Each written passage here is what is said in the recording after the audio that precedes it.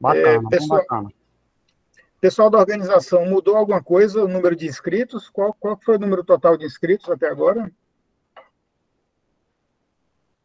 Acho que era 120 e pouco, 124. Né? 124 inscritos de, de, de 19 estados. Então, Fernando, pode, pode botar para gravar? Está aparecendo aí a apresentação? Tá, tá aparecendo. Se você quiser. Pro, é, é, antes de você projetar, é, desprojeta um pouquinho, só para a gente dar, começar rapidinho, Luiz.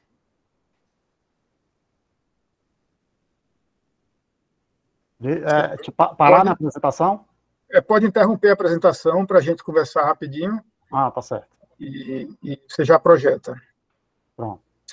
Bom, pessoal, então, então oficialmente, boa noite. A gente está começando é, a segunda palestra do nosso ciclo de palestras sobre desertificação. Então, quem pôde estar aqui na semana passada viu, viu uma palestra muito legal e muito técnica é, sobre aspectos gerais de desertificação, com relação à definição, com relação a, a características hídricas, físico-químicas do solo, foi muito interessante. É, e hoje a gente vai, vai conversar com o professor Luiz Aquino. Então, o professor Luiz César Aquino, ele é professor da, da UFESA, é engenheiro agrônomo formado pela Federal do Ceará e tem mestrado e doutorado em engenharia é, agrícola pela Universidade de Lavras. Então, o professor trabalha com, com, ele tem grande expertise em hidrologia do semiárido e hoje vai conversar com a gente sobre outras relações de desertificação na nossa região do, do, do semiárido. É, esse tema a gente escolheu, né, os alunos do PET escolheram por ser um tema muito presente para a gente que mora nessa região de baixo regime de pluviosidade. Né? Então, a gente tem secas aqui a cada certo intervalo de tempo, então é uma região com pouca água, dessa forma a desertificação para a gente é uma, uma coisa muito importante aqui. Então, daí os alunos do PET que propuseram essa, essa temática e a gente está fazendo esse ciclo de três palestras sobre desertificação, tá? Então, como eu gosto de falar sempre, é, Luiz, é, esse, esse, esse ciclo de palestras é desenvolvido pelo PET, tá? PET de Engenharia de Pesca, eu sou o tutor do PET, e a gente tem 15 alunos por trás da, dessa organização que estão tocando as atividades online do, do PET, particularmente nesse período agora de, de pandemia, onde tudo virou online, né? Então, ah. deixo, como sempre, eu deixo os parabéns para eles, né? É um evento bem organizado, com todo carinho, para que todo mundo saia contente e com certificados na mão. Então, eles fazem tudo, eu só discuto pequenas besteirinhas com eles e participo dessa, dessa abertura da, da, das palestras, né? Então, parabéns, meus pupilos. É, mais uma vez, é, tudo saiu direitinho, tudo em perfeita ordem. E, professor Luiz, seja bem-vindo. Se quiser falar um pouquinho sobre a sua, a sua formação, a sua expertise, antes de começar a palestra, fica à vontade. A palavra está contigo. Tá, ok. Muito obrigado. Gostaria de agradecer a, Larissa, que entrou em contato comigo, e a todos os alunos que estão envolvidos na organização né, desse evento, do PET. Uh, fiquei muito lisonjeado com, com o convite, aceitei de cara. É, porque tudo que os alunos organizam, eu nunca nego. Eu sempre, quando eles me procuram, eu sempre me prontifico de cara, porque eu acho que só a intenção deles organizar esse tipo de evento já é extremamente valiosa, né, dentro da universidade. Então, eu, agradeço e parabenizo ao mesmo tempo, é, agradeço a confiança e parabenizo ao, a, o desenrolar do evento. E também ao professor Cristiano, né, que é o tutor aí desse projeto, PET é uma coisa é, sensacional dentro da universidade, às vezes os alunos, muitos alunos nem conhecem, né, desconhecem a ação do PET por falta de, de conhecimento mesmo, mas é uma, é uma, uma ação importantíssima dentro da universidade, que dá uma visão para o aluno. É, eu já fui petiano também e sei o quanto é, é, é legal, é bacana participar do PET. É, então, como o Cristiano falou, eu sou Luiz César, né, sou formado, sou engenheiro agrônomo, mas eu sou aquele engenheiro agrônomo ambiental, né, e não fui para o setor produtivo, enfim, não fui trabalhar com produção agrícola, mas sim na parte ambiental com recursos hídricos. Então, desde a minha do terceiro semestre da graduação, ainda era monitor da disciplina de meteorologia agrícola, meteorologia agrícola, né, que na UFESA é climatologia, mas é a mesma coisa, só a nomenclatura que diferencia. Então, desde essa época, eu já comecei a me interessar por recursos hídricos, bacias hidrográficas. E aí, do terceiro semestre da faculdade em diante, eu já fui trabalhando com isso, fiz o meu mestrado dentro da área de recursos hídricos, fiz meu doutorado dentro da área de recursos hídricos, e é, por alguns anos eu dei aula de irrigação, dei aula de máquinas agrícolas, quando eu era professor do Instituto Federal, por cinco anos eu fui professor do Instituto Federal, mas aí desde 2011, quando eu entrei na UFESA, que eu leciono essa disciplina de bacias hidrográficas, que é o conteúdo, digamos assim, a, a, expertise, como o professor Cristiano falou, né, que eu tenho a minha carreira acadêmica inteira. Então, desde a graduação até o doutorado, eu sempre trabalhei com isso. Minhas publicações, meus artigos sempre são nessa linha né, de, de, recursos hídricos, e aí foi quando eu vou, vim para a UFES em 2011 e acabei voltando, retornando para essa área, que eu fiquei parado por um tempo dando aula de máquinas agrícolas, né? Meio que fugi um pouco da minha, da minha ossada. Mas eu vou passar aqui o material, vou compartilhar com vocês os slides de uma apresentação que eu preparei é, dentro da proposta que a Larissa me falou, né? Ela me disse que era um, um evento que teriam três, se eu não me engano, três apresentações, né, em semanas distintas, sobre desertificação e que a primeira delas ia falar uma parte mais teórica, mais introdutória sobre a desertificação, e que se eu podia abordar a questão dos efeitos da desertificação em bacias hidrográficas. E aí eu, eu fiz uma apresentação, não tem como a gente falar um pouquinho de definição, mas é muito rápido, são poucos slides, tem muita figura. Eu vou falar um pouquinho, mas depois eu vou mostrar mais imagens né, dos efeitos desse fenômeno dentro da, da, de uma bacia hidrográfica. A apresentação já está aparecendo para vocês aí? Por favor, me confirme alguém. Está tá, tá aparecendo. Tem alguém que está com o microfone ligado, que está dando uns picotes assim. Eu vou, vou,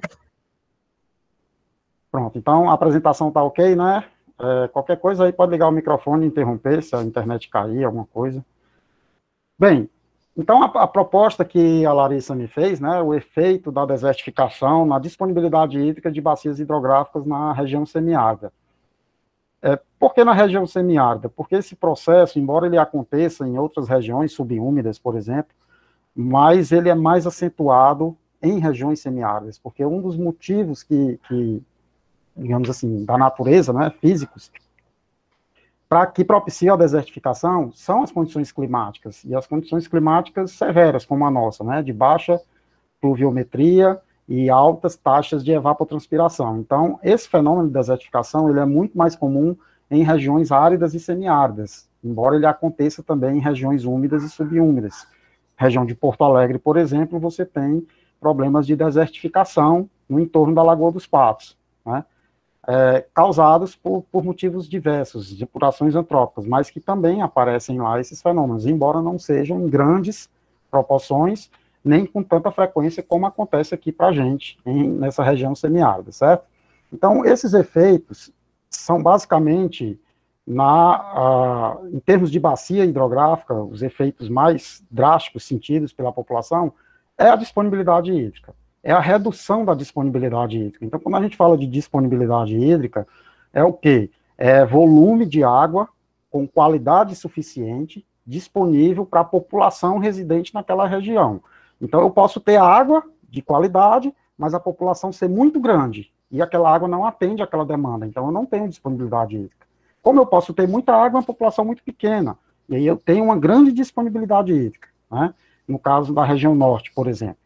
Então, a partir do momento que esse efeito ele a, acontece dentro das bacias, ele altera essa disponibilidade hídrica, tanto em termos quantitativos, né, que eu vou tentar mostrar isso para vocês, como em termos qualitativos. Então, a desertificação ela ataca os recursos hídricos em dois sentidos, tanto na qualidade da água como na, na quantidade, certo?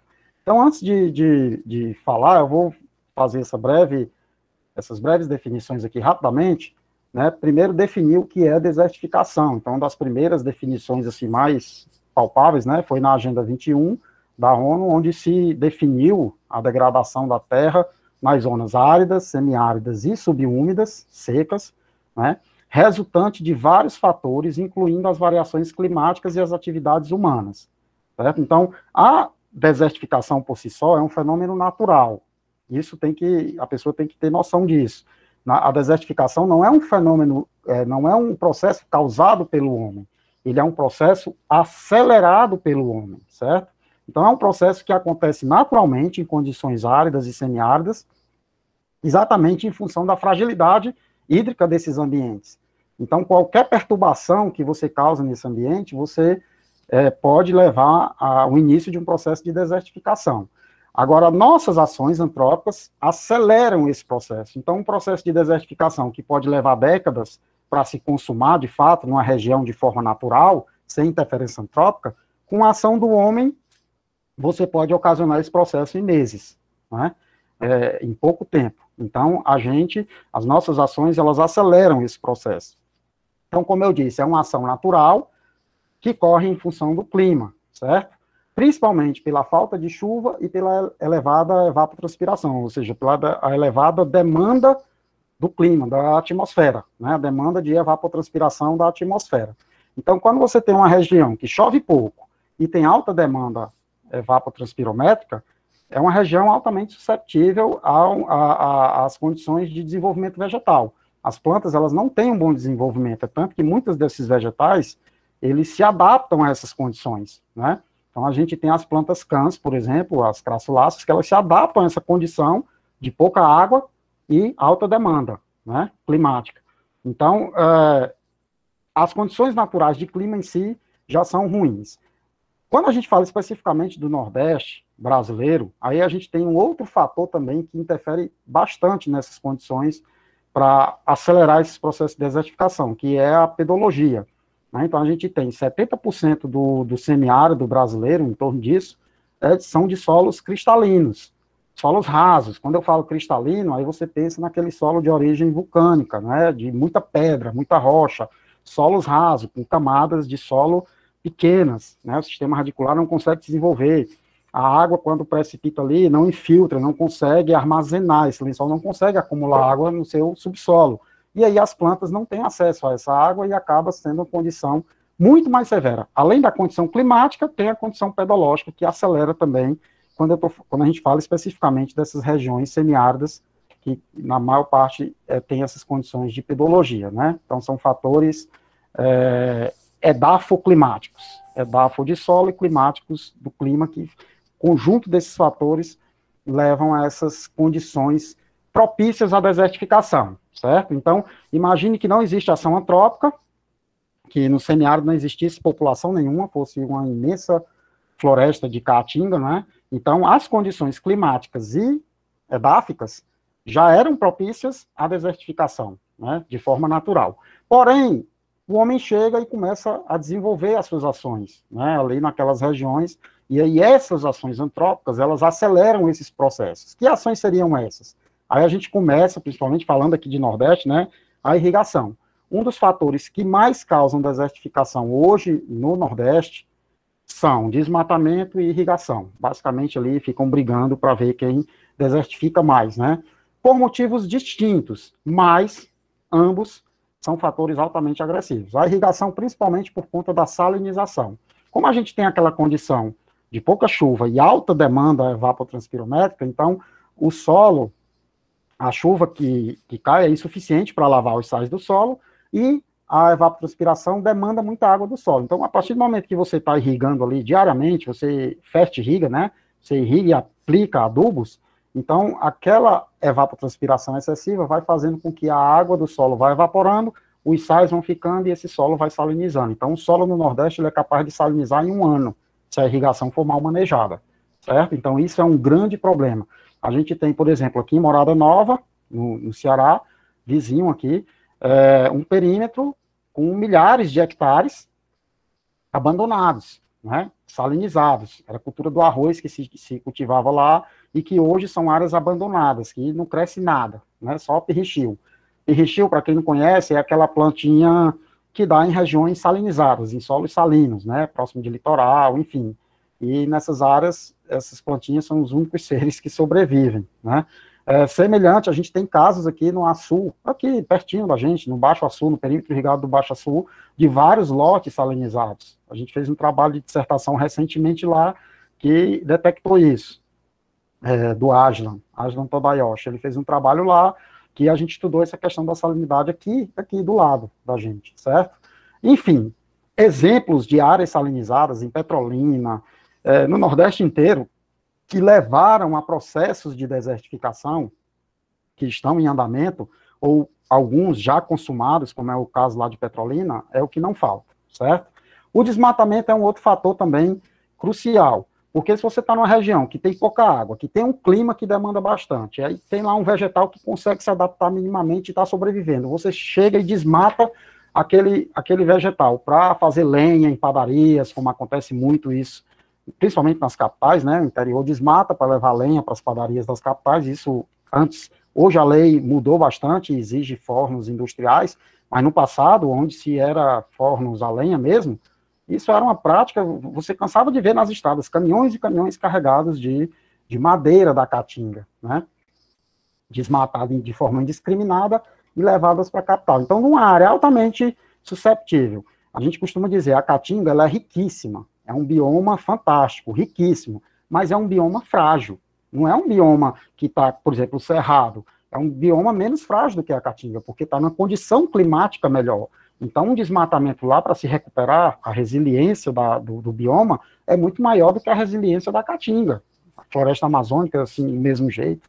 Então, são áreas que têm o um poder de resiliência maior. A caatinga, ela não tem essa resiliência. Então, você está na região crítica, condições críticas, de solo, de clima, você vai e desmata, a esperança daquela vegetação brotar novamente e, e, reflorestar aquela área é praticamente nula, é muito pequena, se não houver uma intervenção humana ali. Então, o que é que acontece quando você desmata? Você deixa o solo exposto. E aí, ao invés de ser a salinização, que vai causar irrigação, é o fato do solo estar tá exposto. Perdão, ao invés de ser a salinização que vai causar a desertificação, é o fato do solo estar tá exposto, né? Então, todos esses processos têm a ver com física do solo. Eu acho que na palestra passada eu não tive a oportunidade de assistir, mas como o professor Cristiano falou, ele deve ter comentado isso, que ele falou das características físico-hídricas do solo, né? Então, ele deve ter comentado que o fato de você salinizar, por exemplo, você compacta o solo e você afeta toda a estrutura físico-hídrica do solo, que leva a um processo de desertificação, né? A mesma coisa é o desmatamento. Ao desmatar o solo, você deixa aquele solo exposto, faz com que o impacto da chuva seja diretamente no solo, não tem um amortecimento do vegetal, porque a cobertura vegetal, a interceptação vegetal, ela serve como um amortecedor para a energia cinética da chuva. Então, uma gota de chuva, ela possui uma energia cinética muito grande. Quando ela bate no solo, ela desestrutura aquele solo, causando um fenômeno que a gente chama de selamento superficial. Não sei se, se o palestrante da semana passada comentou isso. E esse selamento superficial faz com que a água não infiltre, faz com que a água escorra, e aí o geramento do escoamento superficial é que causa erosão, enfim, é, mais na frente eu cito esses processos, certo? Queimadas, monocultura, queimadas é um histórico aqui no Nordeste, né, então é uma coisa cultural, é muito mais fácil e barato você comprar uma caixa de fósforo e riscar para queimar uma área, para depois plantar ou fazer qualquer outra coisa nela, do que você é, desmatar manualmente ou com máquinas de forma correta, né? Então, o produtor ele tem muito esse, essa questão cultural das queimadas.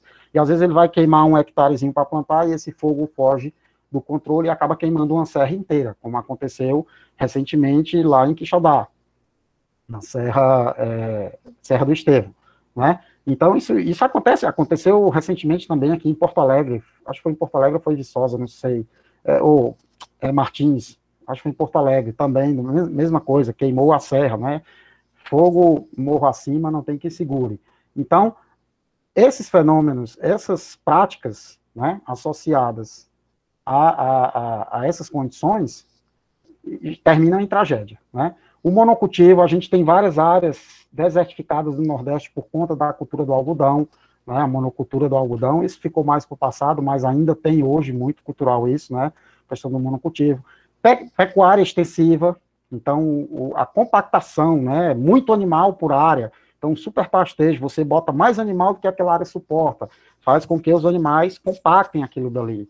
Mineração, problema seríssimo na região de Minas Gerais, né, região semiárida de Minas Gerais, que quando a gente fala semiárido, a gente pensa só em Nordeste, né, mas o Sudeste também tem semiárido, que é ali o norte de Minas, boa parte dele, então é uma questão muito séria lá a mineração. Aqui também no Rio Grande do Norte a gente tem um problema da mineração, inclusive um dos núcleos de desertificação do Brasil, um dos principais núcleos de desertificação do Brasil é o núcleo de Seridó, que está aqui no Rio Grande do Norte. e que o principal motivo desse núcleo é exatamente a, o desmatamento e a mineração. Agora, o desmatamento também está atrelado à mineração, porque os camaradas desmatam a caatinga para os fornos das olarias. E olarias é, faz telha, tijolo, cerâmicas, né? Algumas pessoas conhecem como indústria ceramista ou cerâmicas.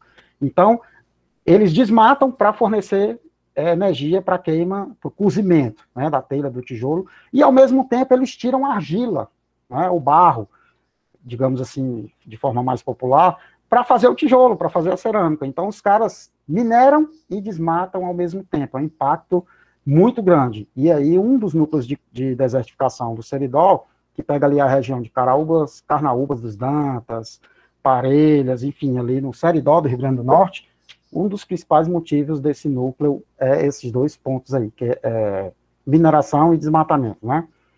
Uso de tecnologias inadequadas, aí cabe aqui a irrigação, né? Você usar, por exemplo, um, é, é, como é que fala, um pivô central, um equipamento de irrigação altamente tecnológico para irrigar numa região semiárida, né, onde a água é escassa, onde o solo, enfim, todas essas condições. Uso excessivo de agrotóxicos, de, de poluição do solo, né? contaminantes do solo, que às vezes matam, a, são tóxicos ao vegetal, matam a planta, ao matar a planta, deixa o solo exposto, e aí se inicia um processo de desertificação. Enfim, tem vários outros fatores que a gente pode citar aqui, mas eu vou tentar ser mais rápido por causa do tempo. Quais são as consciências, eh, as consequências sociais disso? Então, você cria áreas suscetíveis à desertificação, né?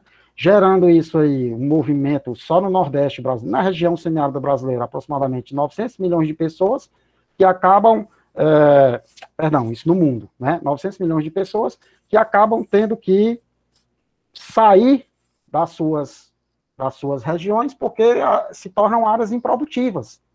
Né, então, o solo que não presta mais para a agricultura não, não, não produz mais nada. Então, eles acabam abandonando aquelas áreas, que é o que a gente chama de êxodo rural. E isso vai causar uma outra consequência social nas cidades. Né? Então, vocês já devem saber, com certeza, de qual é isso. Então, a partir do momento que essas populações saem das zonas rurais e vão para as cidades, porque não tem mais condição de, de sobreviver na região rural, elas causam um problema social nas cidades. Né? É, tem as consequências econômicas, esses dados aqui eles estão bem ultrapassados, porque foi de uma apresentação que eu fiz há um tempo atrás, e, e eu nem lembro mais basicamente qual foi o ano, mas já faz um tempinho, mas serve para a gente ter uma noção, como está cifrado em dólar, né? Então dá para a gente ter mais ou menos uma noção do prejuízo que a desertificação traz é, de forma econômica, porque além de causar todos esses problemas sociais que impactam na economia, né, diminui renda, consumo das populações, também tem um prejuízo muito grande para se recuperar essas áreas. Né? Então, é um custo elevado, não se recupera facilmente. Existem diversas técnicas, eu podia citar várias delas aqui, ou até aprofundar. É, o uso de plantas, né, fitoestraturas, como a triplex, uso de matéria orgânica, lavagem do solo, lixiviação, etc, etc, etc. Tem uma série de técnicas que você consegue, é, eu digamos assim, com o tempo, claro que isso leva anos, em torno de 20 anos para você recuperar uma área degradada, né? A resiliência de uma área dura em torno de 20 a 30 anos. Então, você tem um custo para fazer isso anual. E esse custo é na, na cifra dos bilhões, né? De acordo com as áreas que a gente tem hoje. Então, isso tem uma consequência econômica muito grande. E as consequências ambientais, que é a que eu vou uh, aprofundar, né? Além da biodiversidade, é claro, a partir do momento, como você fala, desertificação, a palavra já diz tudo, né? Deserto. Então, se é um deserto, você não tem vida ou pelo menos espera-se que não tenha, tanto vegetal como animal. Então você impacta diretamente na biodiversidade, a desertificação ela reduz a fauna e reduz a flora, porque se não tem flora, não tem fauna, né? Então é uma coisa é consequência da outra, e também se não tem fauna, não tem flora, porque a própria fauna é responsável muito pela propagação de muitos vegetais, né? Então você impacta diretamente na biodiversidade. Impacta nos solos, né, perdendo o filé do solo, a parte onde tem os nutrientes, que é aquela parte mais superficial, é a primeira que vai embora, né? então áreas degradadas perdem toneladas por hectare ano de solo, levando essa fertilidade toda embora, né? através da erosão. Problemas de salinização e compactação, os solos vão ficando salinizados e compactados, aí as plantas não se desenvolvem de jeito nenhum, certo? E esses impactos do solo vão repercutir aonde? Nos recursos hídricos. Aí é onde eu quero chegar e é onde é o tema que a gente vai abordar hoje, certo? Basicamente através do assoreamento. Só que esse assoreamento, além de reduzir o volume hídrico no leito dos rios, ele traz junto com ele poluição. Porque se você tem uma área que está em processo de desertificação, aonde ali tem altas taxas de salinização ou de produtos químicos, né, oriundos da agricultura, poluentes, contaminantes, essa erosão vai carregar tudo isso. Não vai carregar só o solo bonitinho, vai levar tudo. E tudo isso vai para a água, poluindo os recursos hídricos, né, tornando essas águas é, com problemas para consumo humano, certo? Então, aí só para a gente ver, a desertificação não é um problema exclusivo do Brasil, né, é um problema mundial. Então, esse mapa aí a gente consegue visualizar em torno de 33% do planeta, abrangendo aí aproximadamente 100 países, sofre com esse problema, né, onde está mais vermelhinho aí e amarelinho, laranjado, são, né, aí você vê o moderado, o alto, muito alto, as condições de severidade da desertificação, ou áreas vulneráveis à desertificação, certo? Uh, quando a gente traz essa informação macro, a nível global, para nossas condições, aí a gente traz esse mapa aqui, do, elaborado pelo INSA, né, o pessoal lá do INSA, que é o Instituto Semiárido, onde eles mostram a distribuição desse processo, desse fenômeno de desertificação, na região semiárida. Então, você tem aqui o mapa do Nordeste, e esse contornozinho aqui representa toda a condição semiárida, né, que inclusive pega aqui a região norte de Minas. Então, se está no azul, se está no branco, digamos assim, está na condição de não processo de desertificação ainda, certo? No azul, é um processo de desertificação identificado já de forma moderada, o amarelinho já um, um forte processo de desertificação, e o vermelhinho muito forte. E aí você observa os vermelhinhos onde é que acontece, né? Você tem aqui no Ceará, Irauçuba, eu não sei se o cursor do mouse está tá aparecendo para vocês, mas aqui no mapa do Ceará, esse vermelhinho maiorzinho aqui é a região ali por trás de Irauçuba, né, por trás de Tapipoca, então ali você tem um vazio hídrico por conta da serra de Tapipoca, além de ser semiárido, ainda você tem a condição de vazio hídrico, e aí você traz essa, essa área altamente susceptível e aí Irauçuba é um dos núcleos, eu acho que é o pior dos quatro núcleos brasileiros de desertificação, né? Se não for o pior, é brigando para ser o pior ali com Gilboés. Acho que são os dois núcleos que estão na condição pior. Aí você tem aqui no Rio Grande do Norte, né, a região do Seridó, aí aqueles municípios que eu já citei, né, e o motivo, pegando também a Paraíba, ó, basicamente dentro da bacia do Piranhas Açu, né, que nasce aqui nessa região e, e desce para cá. E aí você tem aqui, que chama a atenção também, na região de Petrolina, Juazeiro, na Bahia, né? Divisa ali Petrolina, Juazeiro, que aí são motivos diferentes, certo? Irauçuba, desmatamento para fornos e de padarias em Fortaleza, né? Por décadas, certo? É, Seridó, já falei, né? A questão das olarias. E na região de Petrolina e Juazeiro, aqui na Bahia, o motivo principal é a salinização, é a irrigação, certo? Então, uh, são grandes perímetros irrigados ali naquela região e que têm trazido esses problemas de salinização. Aqui, uh, alguns desses núcleos, algumas imagens, eu vou passar rapidamente, né? Gil Boés, no Piauí. Então, é triste uma imagem dessa, né? Olha essa imagem aqui, é, é chocante. Né? Você não vê, é uma planta aqui, outra lá, não sei aonde, e o solo completamente exposto, várias vossorocas, várias estruturas é, de erosividade, de erosão em alto nível já ocorrendo, né, vossorocas é, grandes já. Ainda na região de Gilboés, né, ó, vossorocas grandes, profundas, né, então várias áreas. Aqui um dos motivos principais da região de Gilboés, no Piauí, é superpastejo, né, um dos motivos principais lá da desertificação é muito animal, a capacidade de suporte do solo muito, é, muito abaixo da quantidade de animais que, que ficam pastando, né? Ah, ainda em Gilboés, ao leito do rio, praticamente desapareceu, né? Todo assoreado. Então, isso aqui era um rio, era não, é um rio, né?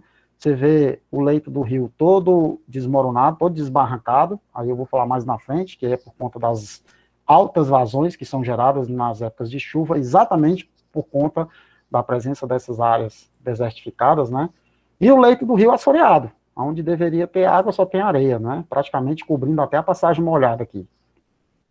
E aí uma imagem de satélite de Juboés. Aí você tem noção do estrago da desertificação na região, né? Então, isso aqui mais acinzentado, mais escurinho, é resquícios, restos de caatinga, né? E aqui uma área imensa desertificada, onde você conta as plantas, né? Um aqui, outro aqui, outro acolá. Então, você vê que a vegetação, aos poucos, vai desaparecendo. Então, isso aqui é uma imagem terrível. Se você for no Google Earth e procurar lá a região de Gilboés, você vai ver isso aqui.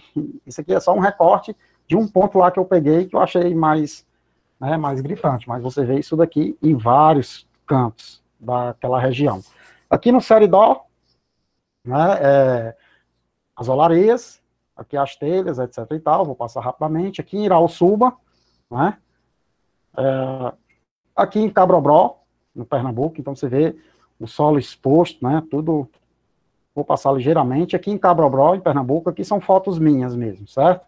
Uma área salinizada, totalmente salinizada, então aqui você não tem mais crescimento vegetal, é zero aí, certo? Floresta, fotos minhas também, eu morei naquela região ali, Floresta, em Pernambuco. Floresta é onde fica o Riacho do Navio. O Riacho do Navio é um afluente do Rio São Francisco, certo? Aqui é em Porto Alegre, aqui no Rio Grande do Norte, em cima da serra. Né? Isso aqui foi um dia que a gente estava fazendo umas coletas de solo, e eu botei essa foto porque era a única que tinha, né? Eu fazendo assim, mas é, era para ter batido a foto só do ambiente, não bati. Mas é, o que é isso daqui? O que me chama, o que me chamou mais atenção, além da queimada, do desmatamento, é o fato de ser um topo de morro. Né? Então a região serrana de Porto Alegre é um maciço e em cima tem uma, uma chapada. Então tem uma área de latossolo muito grande lá que, que a água infiltra bastante, que alimenta um aquífero, que esse aquífero tem uma nascente que dá origem a um ponto turístico da região, que é o, o Riacho da Bica lá, que tem a nascente da Bica, a Cachoeira do Pinga, que são pontos famosos, turísticos a nível de estado mesmo, né? E aí você chega lá em cima, numa área de recarga de lençol freático, de aquífero, de nascentes, você vê uma cena dessa. Né?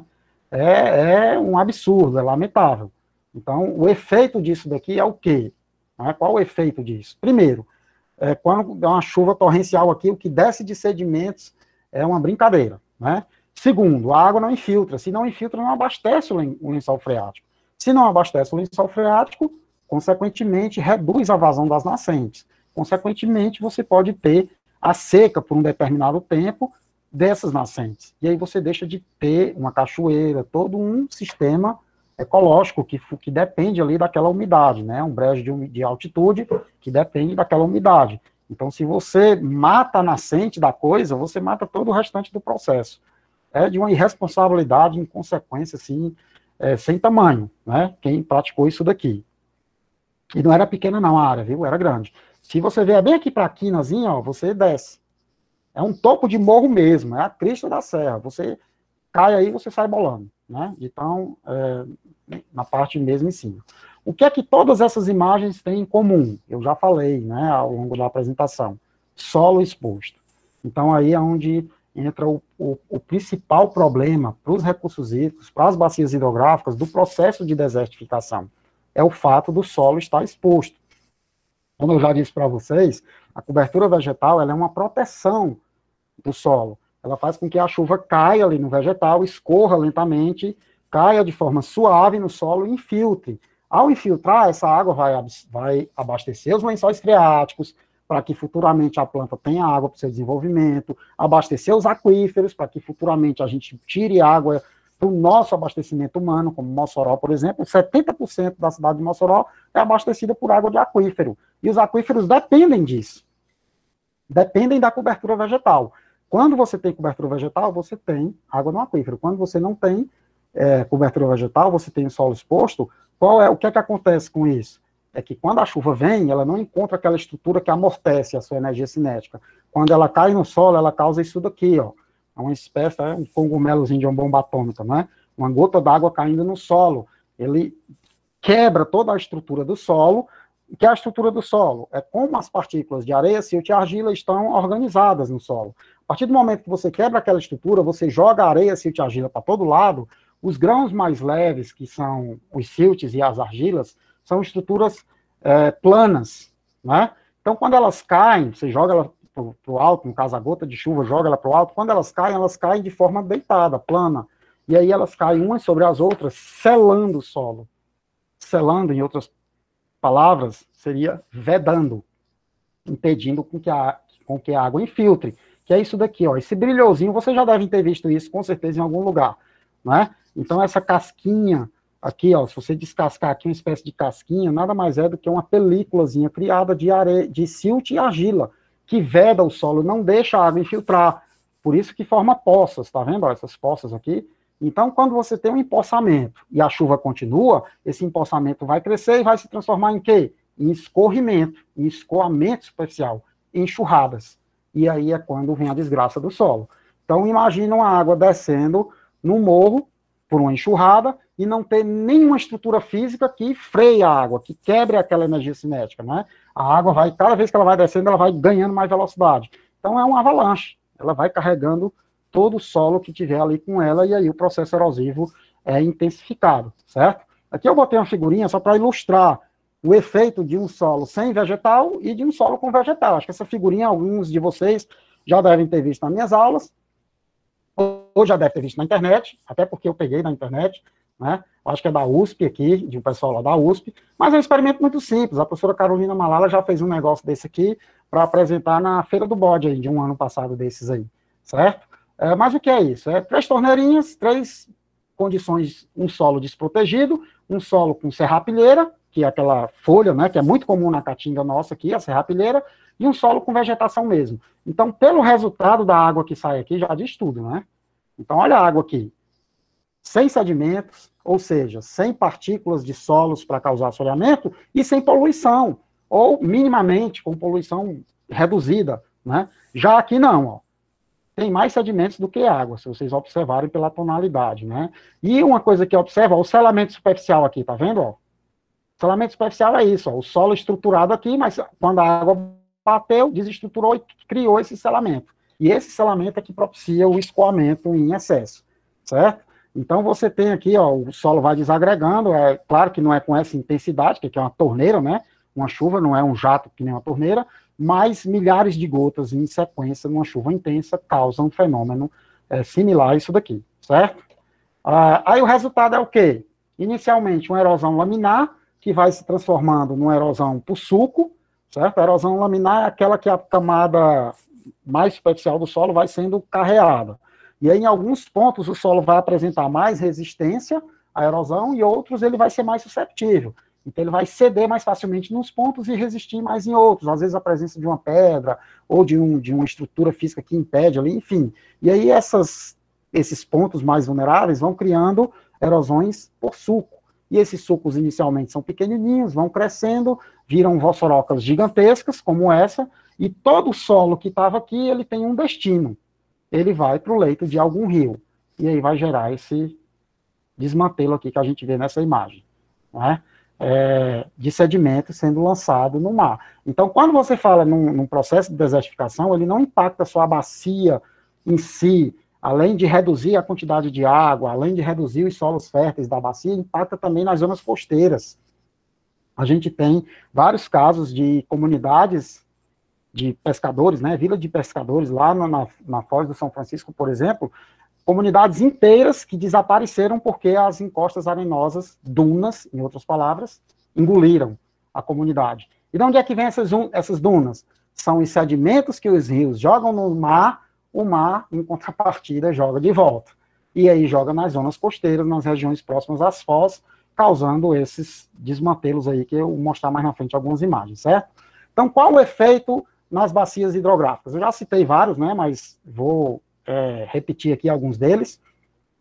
Perdas de áreas férteis é um dos principais efeitos, porque a partir do momento que você perde solo e perde fertilidade, aquelas terras se tornam improdutivas, e aí causam êxodo rural, né, e causam a desertificação propriamente dita, e aí começa a causar erosão e assoreamento, e aí todo vai desenrolando todas as outras consequências, né, como assoreamento dos corpos hídricos, poluição das águas e dos solos, porque essa questão da poluição é, causada pelo assoreamento, ela é certeza que vai acontecer, junto com o assoreamento, porque nossos solos, na maior parte deles, existem esses contaminantes, maior parte deles oriundos da própria agricultura, né? E aí, a partir do momento que você tem a erosão carregando os sedimentos, você tem a poluição também das águas e dos solos, porque às vezes você tem uma área desertificada mais acima, que vem trazendo poluição por sedimentos, e aí eles acabam ficando depositados numa área mais abaixo, né?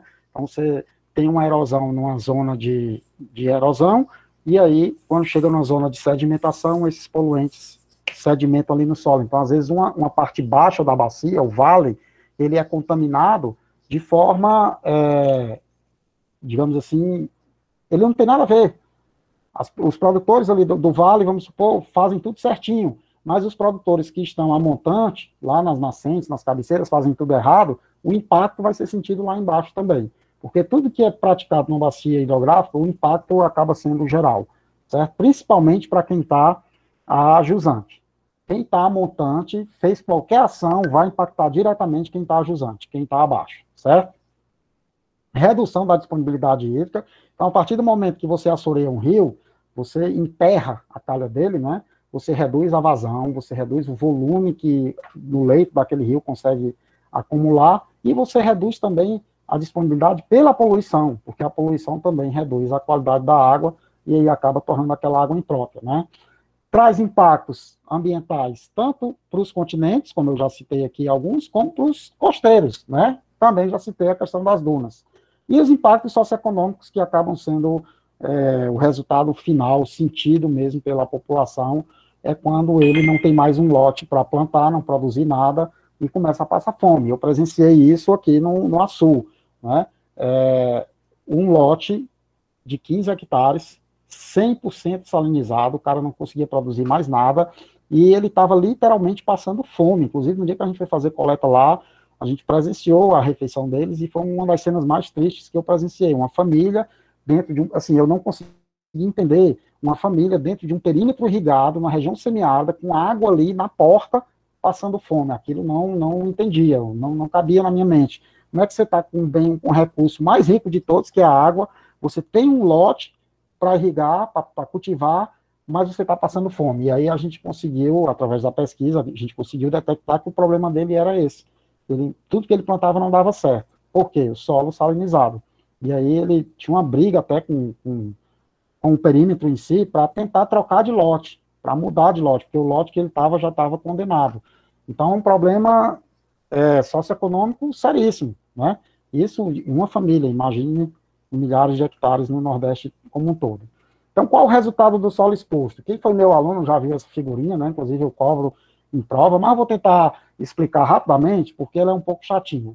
Aqui a gente tem um gráfico de três entradas, né? Onde aqui nesse eixo você tem escoamento superficial, aqui você tem o, o tempo, em anos, e aqui você tem a evapotranspiração. De repente, você, na condição natural, vegetação permanente, com o solo vegetado, né, você tem escoamento bem próximo de zero. Tá vendo? Essa linha, sem ser pontilhada, o RO, representa o runoff, né, escoamento superficial. E aqui é a evapotranspiração, certo? Essa pontilhada. Então, você veja que antes do corte, na situação em que existia floresta, né, na condição natural, o escoamento superficial era próximo de zero e a evapotranspiração era elevada, porque existia planta, certo? Muita planta. De repente você desmatou, tá vendo aqui a palavra corte, ó? Você cortou aqui no tempo zero.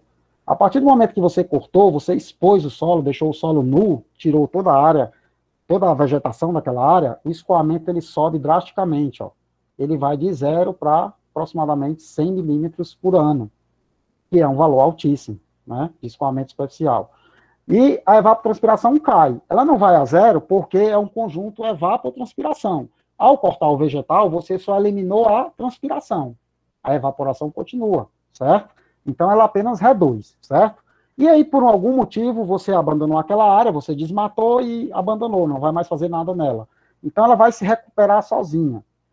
É, pelo menos a tendência natural é que ela se recupere, que aí ela tem um poder de resiliência, como eu disse para vocês, a caatinga, esse poder é muito baixinho ela não consegue se recuperar sozinha. Às vezes ela precisa de uma interferência humana aí, de reflorestamento, enfim.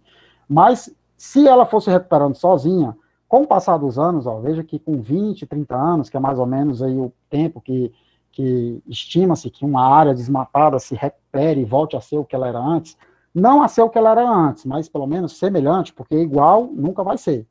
Vai ser parecida, certo? Com, esse, com o passar do tempo, olha o que, é que acontece com o escoamento superficial. Ele vai caindo. Tá vendo?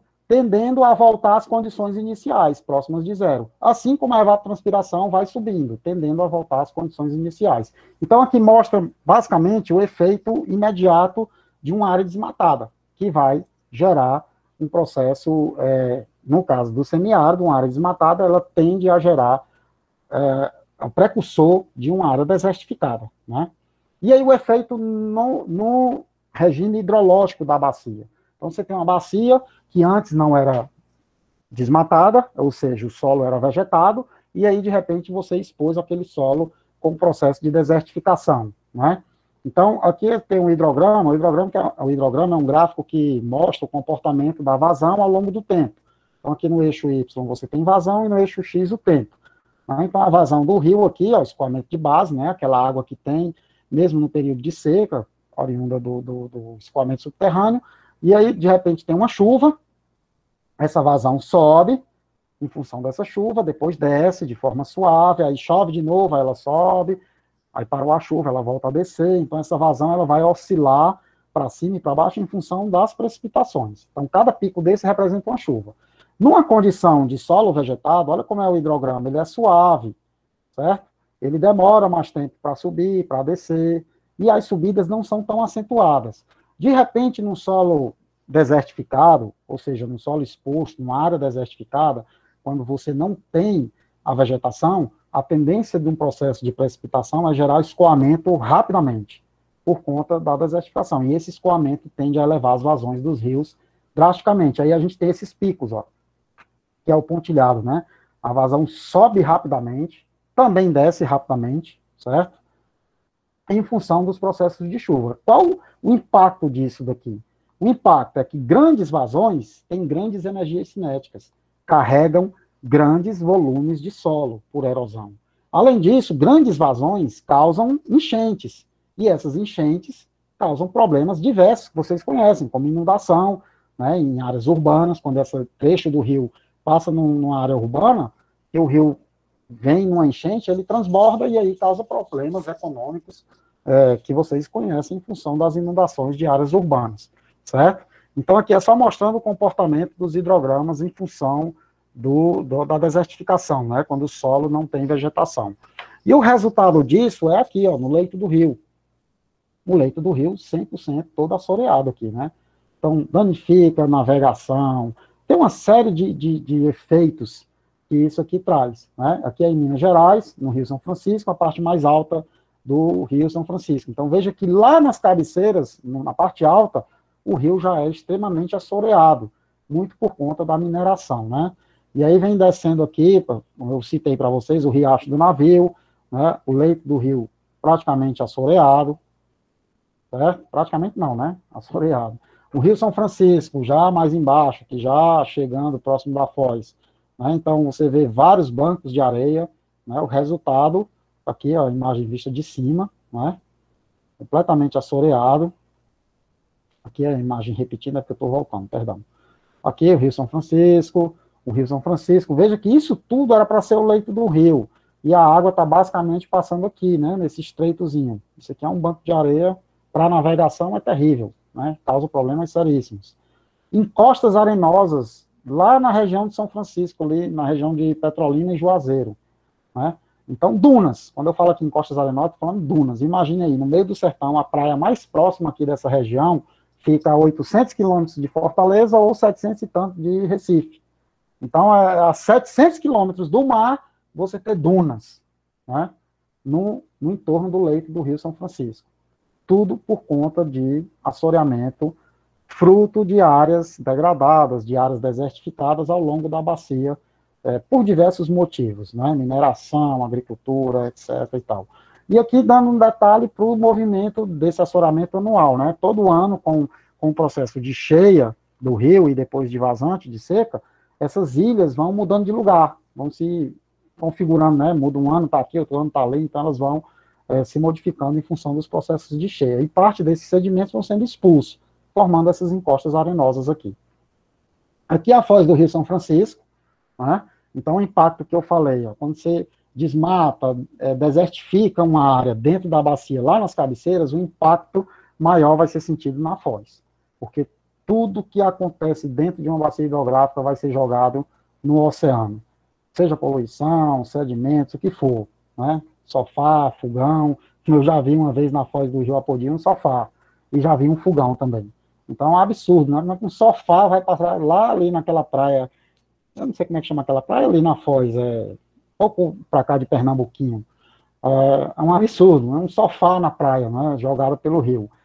Enfim, é, esse, o mar vai expulsar isso de volta, e aí vai criar essas encostas arenosas que vão crescendo, né, ano a ano, isso vai invadindo aqui o rio Jaguaribe, no Ceará, né, e as encostas arenosas do rio Jaguaribe, né, região ali, Canoa Quebrada, enfim, são praias turisticamente belas, mais frutas de impactos ambientais ao longo da bacia, né?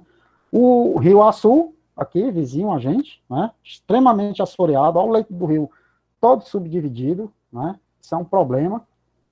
Você deveria ter um leito único, com mata ciliar preservando esse leito, você não tem mata ciliar praticamente inexistente, né? Áreas agrícolas praticamente dentro do, do rio.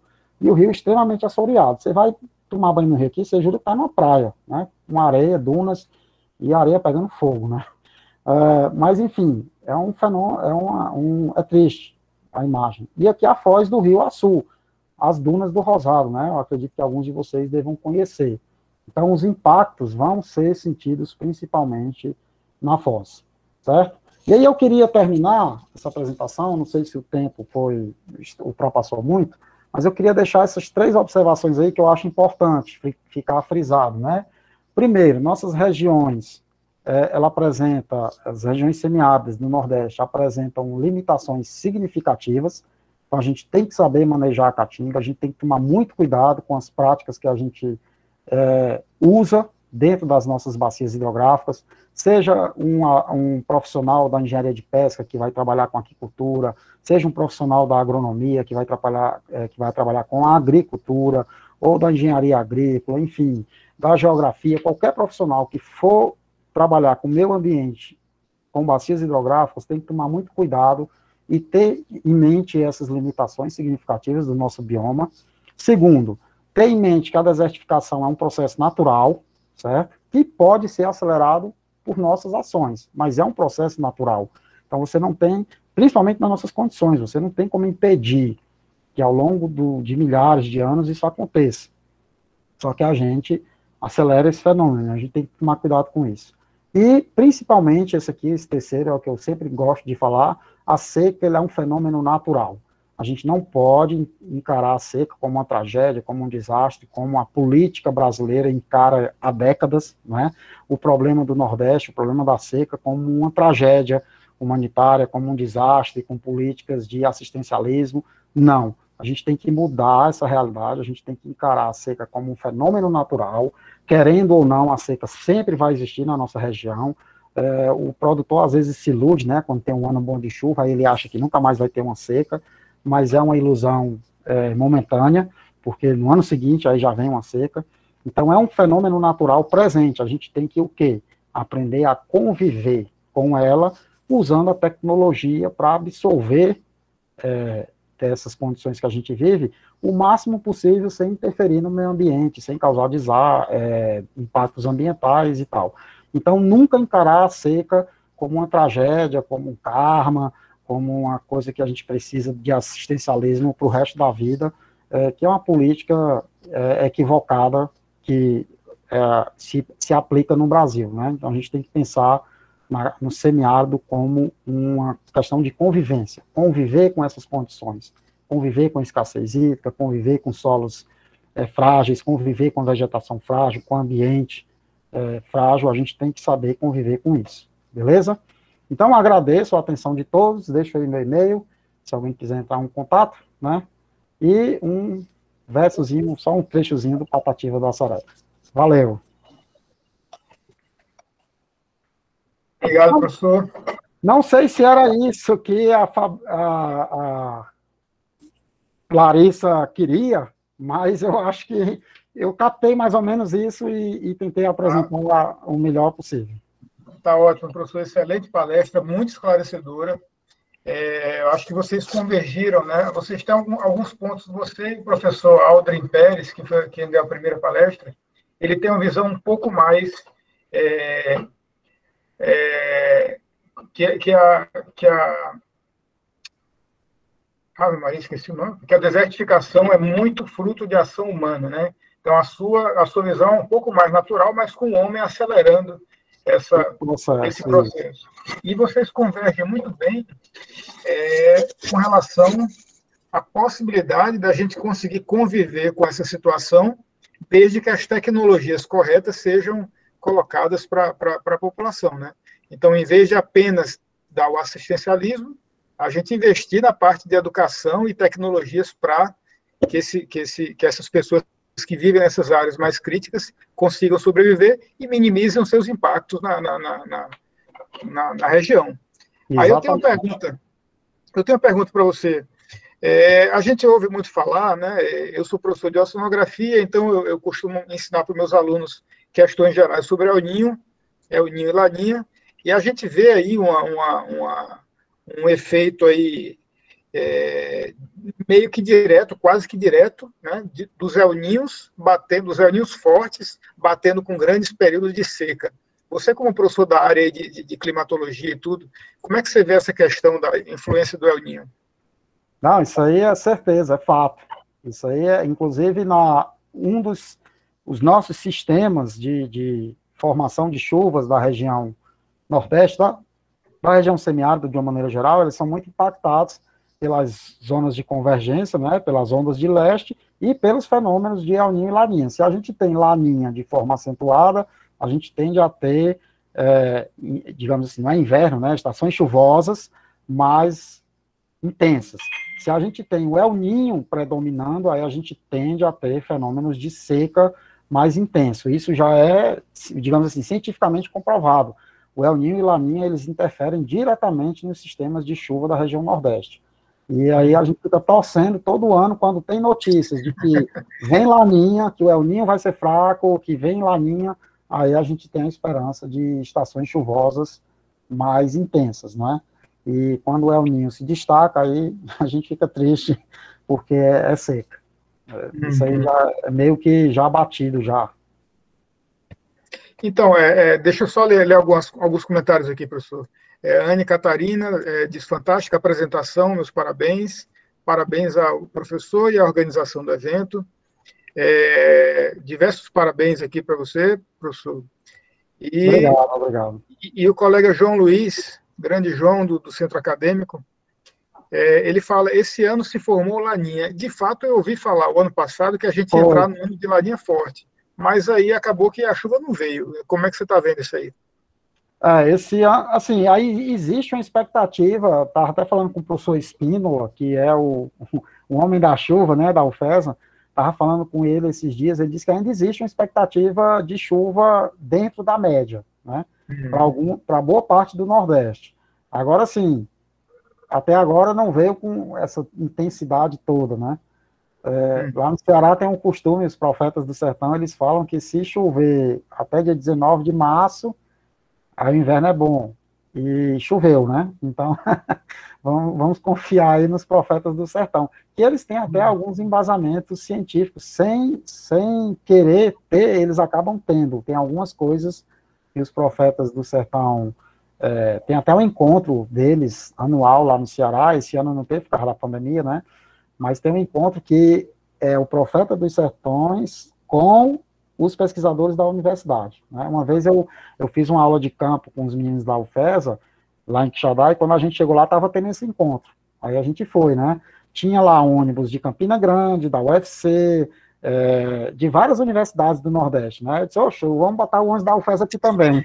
Aí a gente entrou, a gente entrou num evento lá meio que de penetra, mas deu certo, e é bem bacana as previsões que eles fazem assim, você vê que instintivamente tem alguma coisa científica, mas que eles não sabem o que é, mas eles acabam acertando muita coisa, sabe? É uma, uma, base empírica forte que eles têm ali, né? É, de observação, é só observação. Empírica, de, é, tradicional, aquela coisa tradicional. Exato. É, professor, a Carolina Peixoto pergunta, é, a, a, dissertação sobre o Baixo Açu, que você citou no início da sua apresentação, está disponível ao público? Caso sim, tá. qual o título? Tá sim, tá. É, tá na biblioteca, no, na, na, biblioteca da UFES. Eu acho que as dissertações e teses da, da UFES, acho que você consegue tirar pela internet, né, o PDF. Mas se não tiver na, no site da biblioteca, você consegue, entrando no site do Programa de Pós-Graduação Manejo de Solo e Água, também na página da UFESA, certo? E aí é do ano de 2018. Aslan Todayoshi. Você vai ver que é um nome bem diferente lá. Não tem como você não acertar, né? É, eu não lembro exatamente o título, certo? Mas o que foi o estudo que a gente fez lá? A gente é, selecionou uma bacia hidrográfica dentro do perímetro irrigado do Baixo Sul e a gente tentou dimensionar uh, o impacto da irrigação, da prática da irrigação, na salinização do solo e do lençol freático daquela região. Né? E a gente viu claramente o quanto está impactando. Né? Uhum. Uh, eu não lembro exatamente o título, mas entre lá na página do da UFESA, aí na página da UFESA você vai no programa de pós-graduação, manejo de solo e água, aí tem lá dissertações e teses. Você clica e vai estar tá lá no ano de 2018, é, Aslan Todayoshi, o nome dele. Ele é um nome japonês, mas ele não é japonês não, ele é, é inclusive ele é de Açu mesmo. É, é, Luiz, é, é, é, faça um stop na apresentação aí, por favor. Sim, Pausa a apresentação parar a apresentação, me faltou. Pronto, agora aparece a carinha em todo mundo. É, pessoal, quem tiver perguntas e quiser fazer pergunta é, oral, né, é, são bem-vindas, tá? Se não quiser escrever e quiser perguntar oral, é, é legal para a gente interagir. É, Luiz, você mostrou, você mostrou num, num certo gráfico ali a, como é que aconteceu o fluxo da água, né?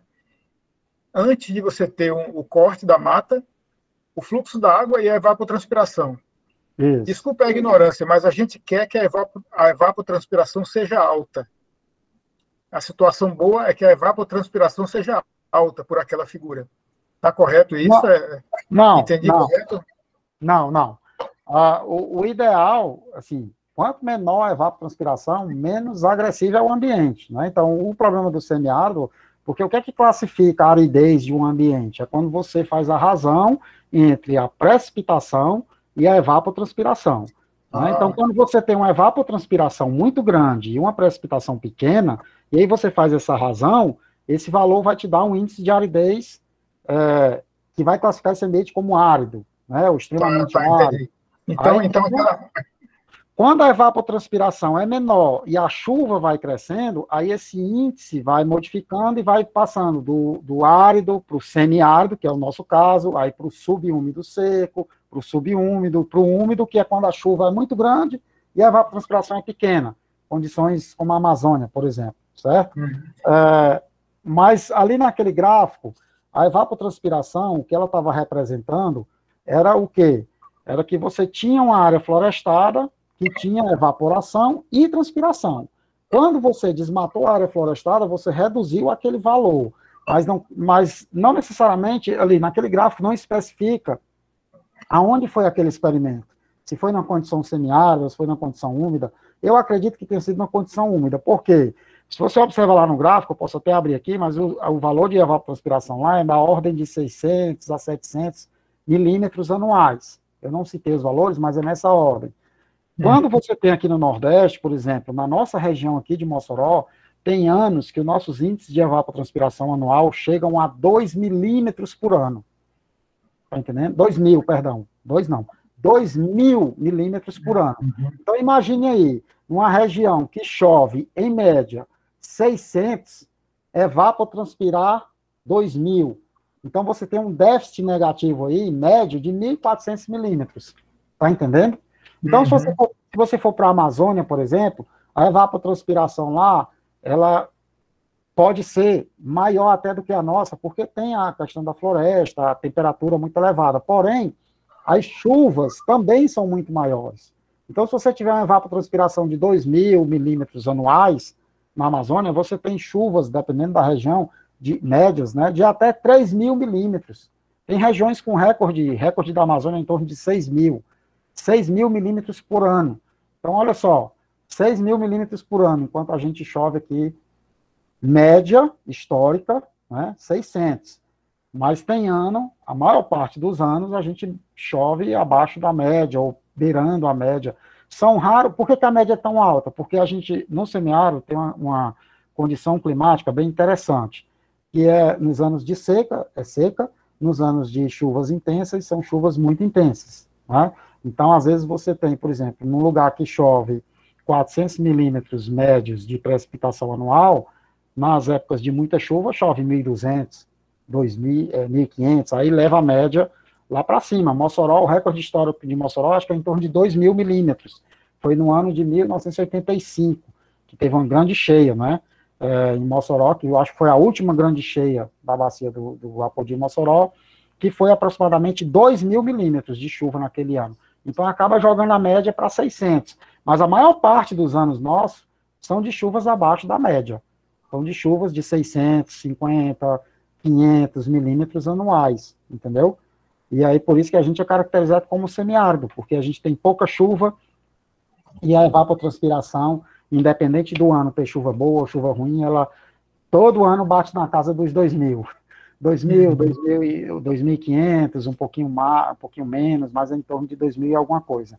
Então a nossa evapotranspiração sempre é muito alta. Por isso que o nosso índice de aridez, que é a razão de chuva com evapotranspiração, nos ca categoriza como condição semiárida, né? clima semiárido. Né? Então a gente tem um clima, o clima ele é fixo, ele não muda.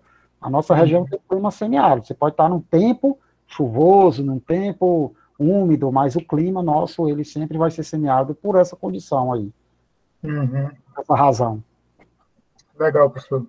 É, a Denise, Denise Monteiro é, comenta aqui que se formou o, o é, Laninha, sim, lá no Pacífico, porém as chuvas não estão tão regulares. É, no mês de novembro de 2020, tivemos um dia de chuva intensa na, na região do sertão paraibano. Né? Mas esse ano ainda estamos esperando é, essa chuva chegar.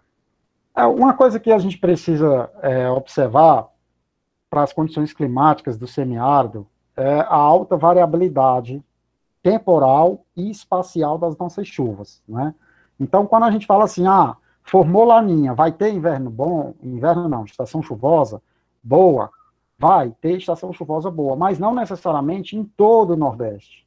Tem uhum. algumas regiões, se você observar, é, tem anos que as chuvas são muito intensas na região ali de Pernambuco para baixo, né, pegando Alagoas, Sergipe, tem grandes cheias naquela região, e aqui para o Nordeste mais setentrional, que é pegando Pernambuco, Rio Grande do Norte, Ceará, é, é seco, né? E aí tem anos que inverte, é mais chuvoso aqui no Nordeste setentrional, e mais para baixo, Nordeste, para baixo do Nordeste, as chuvas são escassas.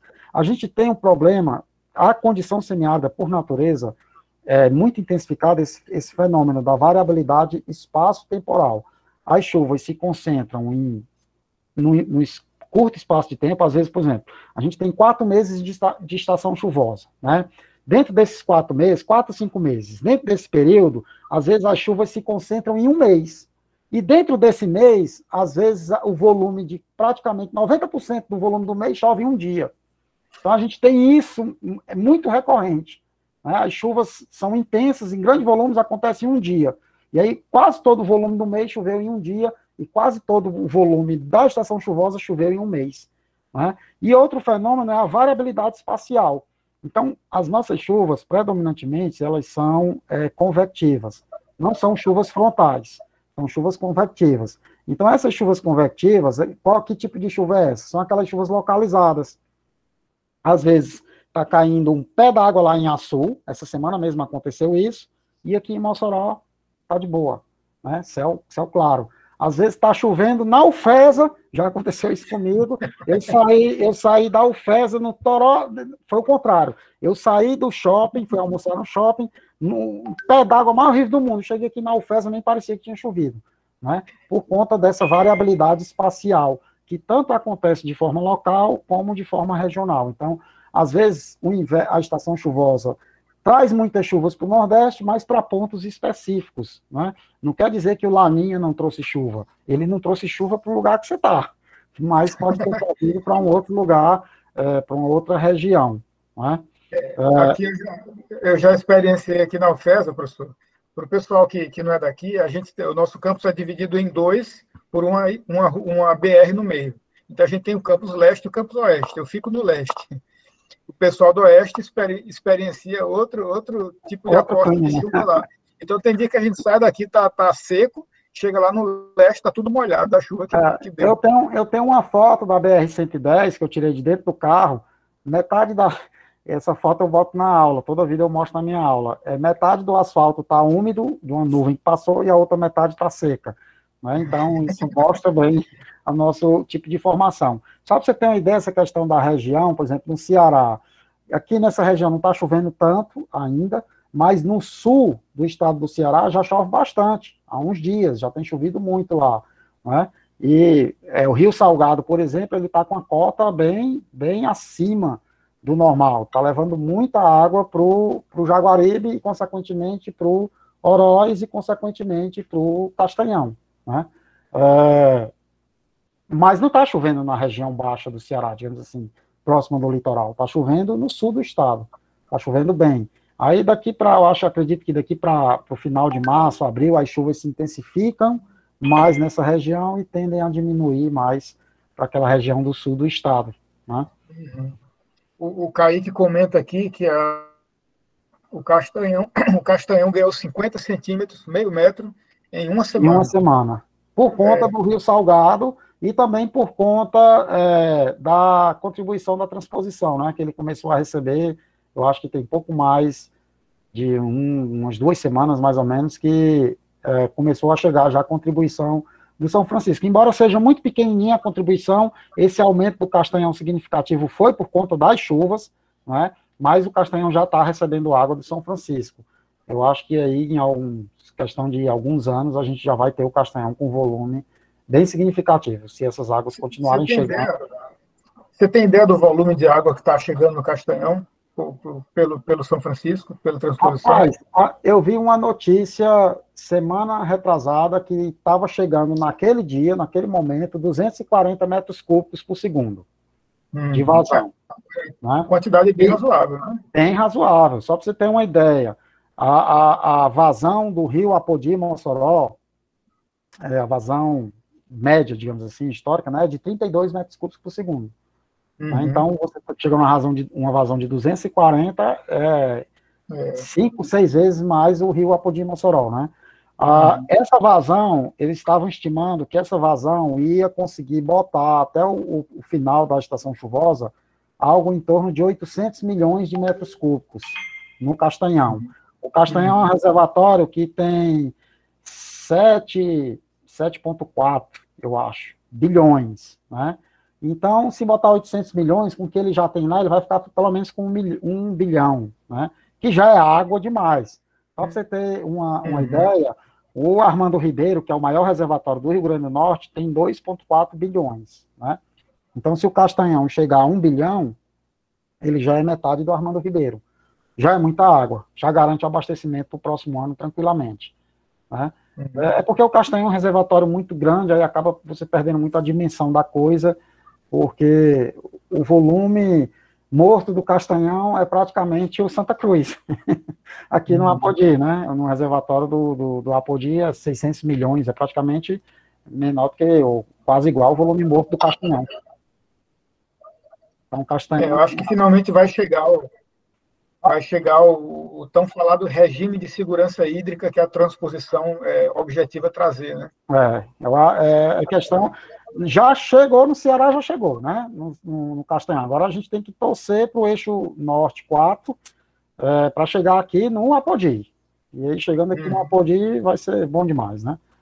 Porque uhum. o Santa Cruz ele vai ficar praticamente um reservatório pulmão, né? Abastece, uhum. vai, vai dar conta de abastecer muitas cidades. Ele já faz isso hoje e com a água de São Francisco vai ficar show de bola para piscicultura, para irrigação, para tudo. Uhum. É, interessante. É, pessoal, é, perguntas, é, o pessoal está quietinho aí, só ouvindo. É, quem quiser interagir pode. Nem precisa, nem precisa levantar a mãozinha, que tem pouca gente para falar, mas pode, pode abrir o microfone e falar, pessoal. Quem tiver alguma pergunta. Senão eu vou tocar o barco perguntando aqui. Eu quero que vocês interajam também. eu queria ouvir da, da Larissa é, se foi dentro da expectativa do que eles esperavam, se era mais ou menos esse tema, essa temática, enfim. Ela está aí ao vivo, a Larissa? Não, sim, professor. Estou falando pelo do PET. Foi sim dentro da temática, acho que Cristiano pode até falar melhor, mas foi o que a gente esperava. E foi bem abordado, desde o. Até porque você abordou desde o início, né? Do que é a desertificação em si. E uhum. mostrou até mesmo as suas vivências, né? Fotos suas nos locais em que mostra bem a questão da desertificação. Então, foi muito bom. Obrigada. Nada, eu que agradeço. Estou à disposição. Pessoal, então, enquanto ninguém, ninguém faz mais perguntas, eu vou, vou, vou, vou ver mais uma questão aqui com, com, com o professor.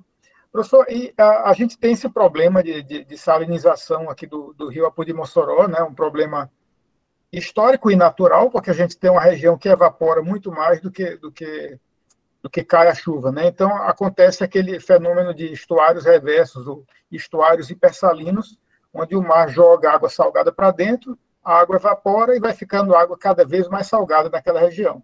É, Exato. É, é, a, situação, a situação muda com o período da chuva. Né? E se a gente pensar nesse regime, nesse novo regime hidrológico trazido pela transposição do São Francisco, você acha que existe a possibilidade desse, desse novo fluxo de água doce reverter a, o, o, fenômeno a, nos arredores do Apodi Mossoró de desertificação que está acontecendo? Sim, sim. Inclusive, é uma preocupação do, do, da indústria salineira, não é? é uma preocupação que eles têm com a transposição, acho que é um setor que é meio que contrário à transposição, porque um dos pontos que eles levantam é essa questão. Como você vai ter, se você tiver vazão continuamente chegando no rio Apodi Mossoró, né, os reservatórios eles vão continuamente lançando vazões maiores, porque eles vão atingir capacidades elevadas, né? Se você tem água contínua ali chegando, e aí a tendência é você aumentar a vazão de água doce, diluindo é, quando você vai chegando próximo das regiões estuárias, né, nos, nos mangues, já próximo do, do, mar, do litoral, você vai diminuir esse teor de salinidade e pode afetar a questão da, das indústrias salineiras.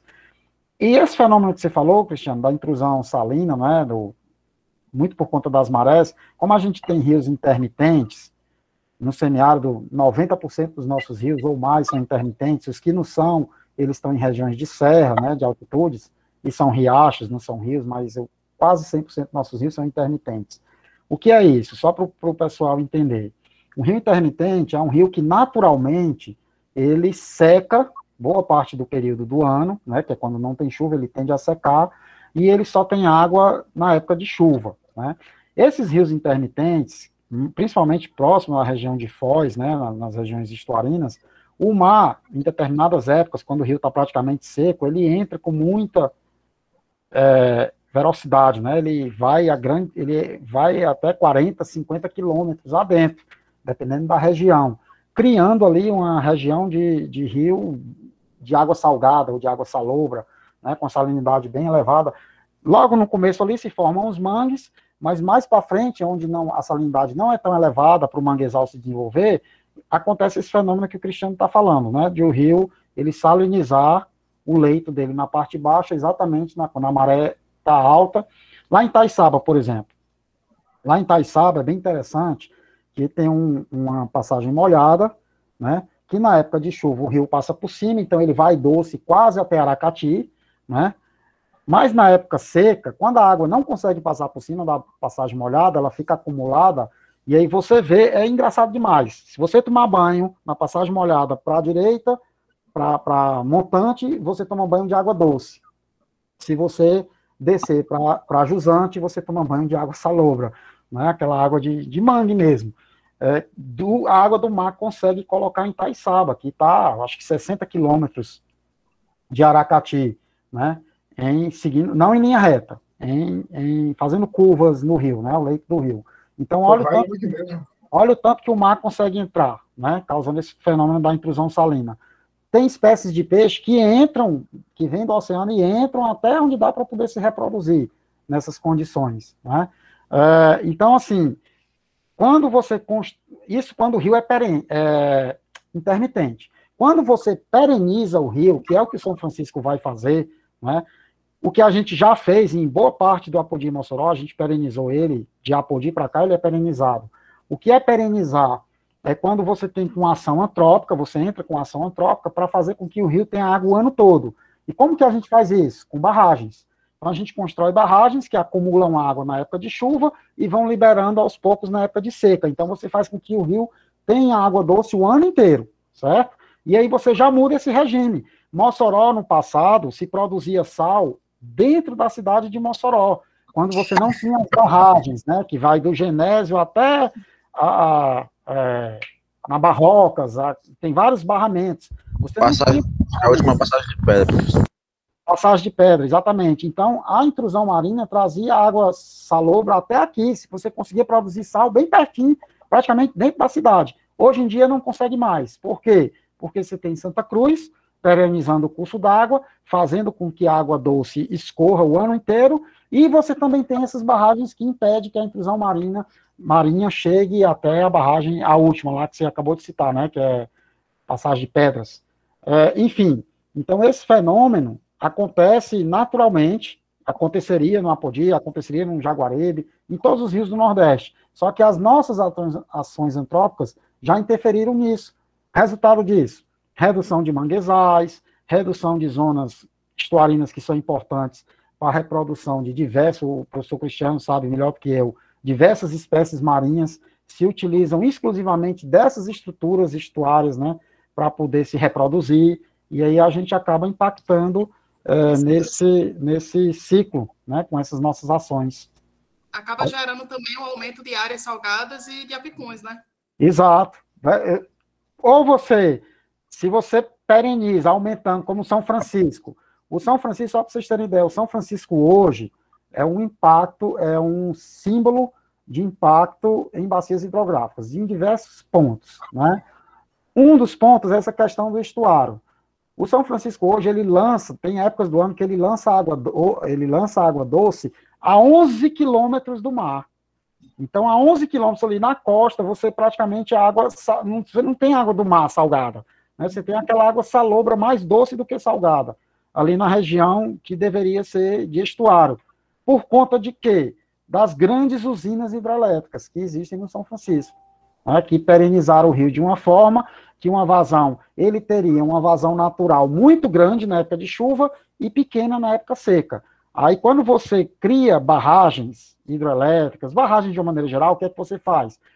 É, na prática, você diminui a amplitude. Que amplitude? a vazão máxima na época de cheia bem grande e a vazão mínima na época de seca, pequena. Quando você cria uma barragem, você faz isso daqui, ó.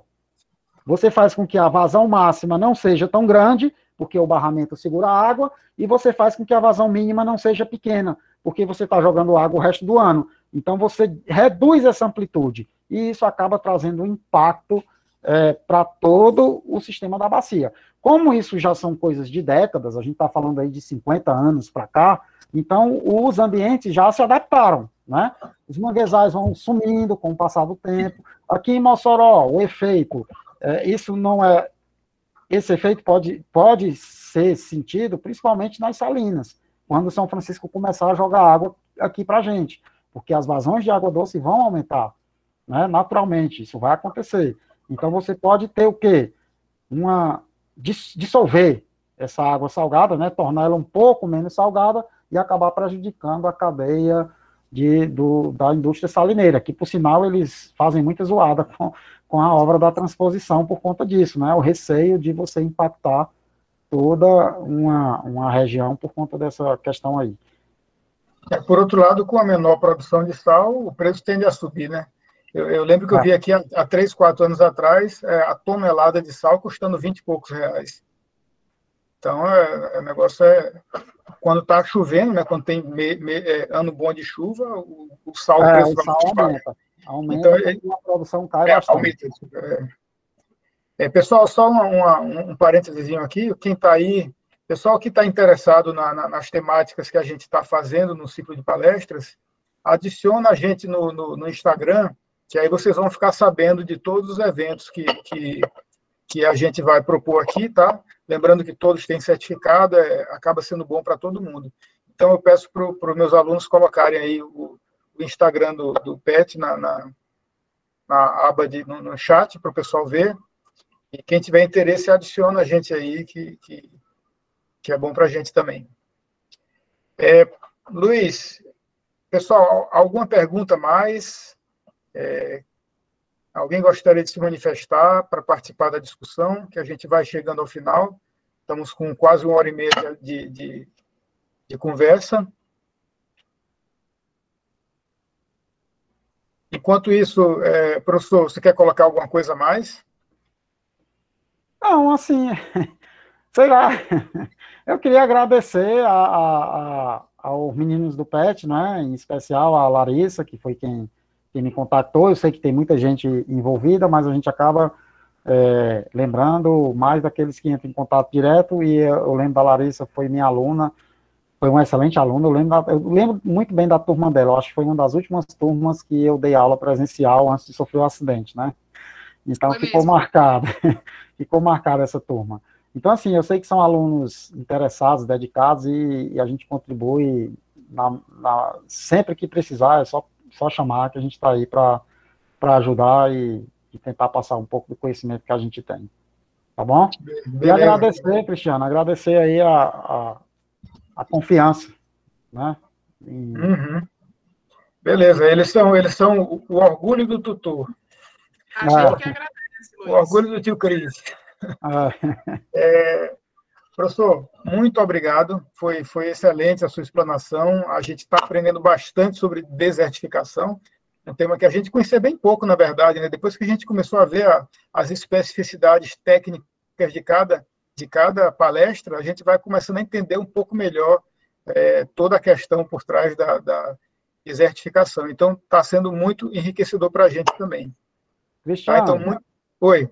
Eu posso dar só um aviso para quem ainda está aqui, estou vendo que tem 50 pessoas. Claro. Vocês querem, querem ver realmente o efeito da desertificação, é só quando vocês estiverem viajando pelas estradas do semiárido, é só apreciar a paisagem.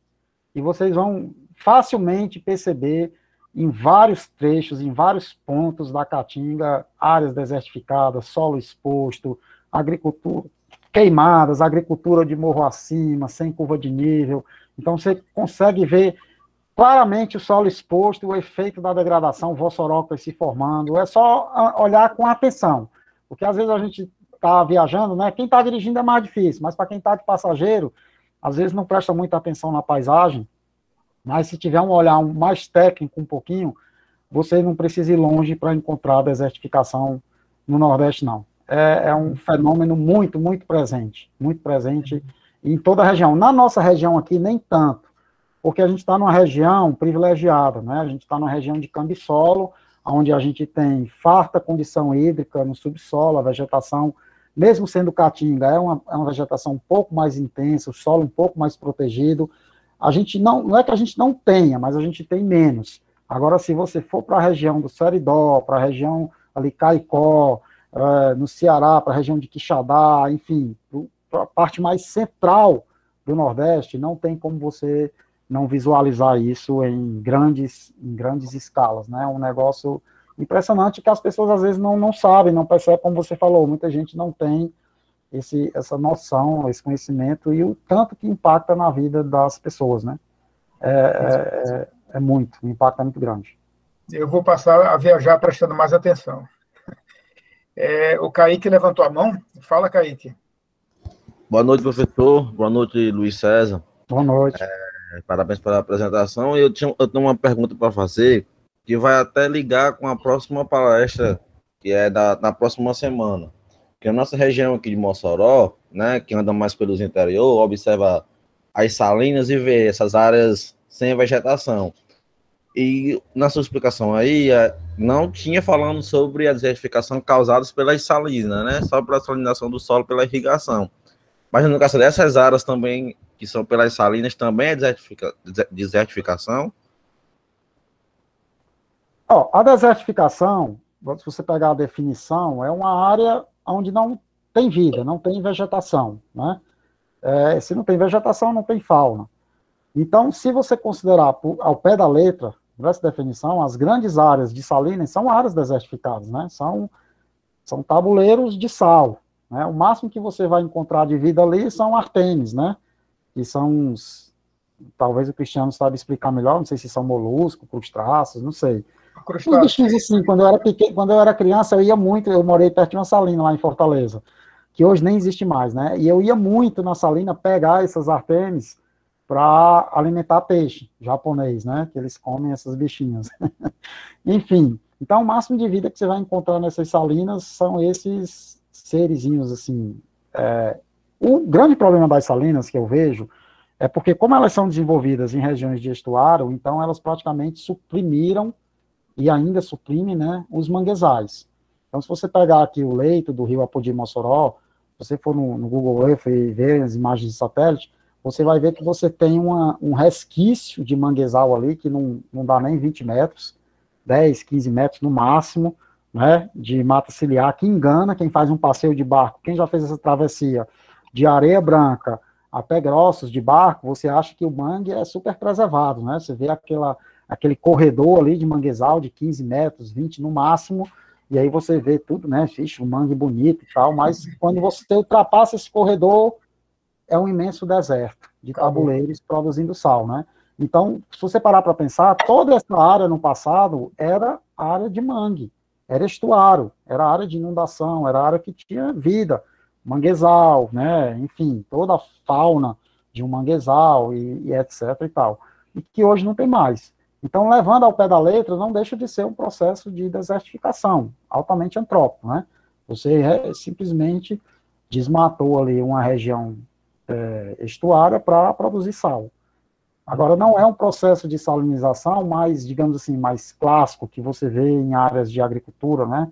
E aos poucos você vai salinizando, e aí a planta vai deixando de suportar aquela, aquele ambiente e passa a morrer, e aí não tem planta que consiga se desenvolver, e a área começa a se desertificar por essa causa. Mas eu acho que ao pé da letra, eu, eu, eu definiria como um processo de desertificação antrópico, sim. Beleza. É, respondido, Kaique? Respondido, né? É... Sim, professor. Respondido, obrigado. Pessoal, então, é, alguma questão mais? Professor Cristiano? Fala aí, Giovanni. Opa, boa noite, boa noite, pessoal, boa noite a todos. Boa é, noite. É, professor, parabéns pela, pela exposição. Sou professor do IFRN lá em Santa Cruz, e você falou dessa realidade né, bem próxima de Mossoró, e, mas falou sobre várias áreas né, do, do, do semiárido nordestino, é, do, em Pernambuco, no Ceará, Piauí, é, e, e, a nossa realidade muito mais próxima é essa daqui do Seridó, né, que é uma realidade tanto quanto problemática, né, por ser uma, uma área que historicamente, além da exploração né, do, do, do das alarias, das argilas, né, e, e mesmo da extração né, da vegetação para servir de, de, de, fonte de energia, né, tem a exploração histórica do algodão, né, e também no caso da pecuária, né, anterior, anteriormente ainda a, a, a, ao algodão, né.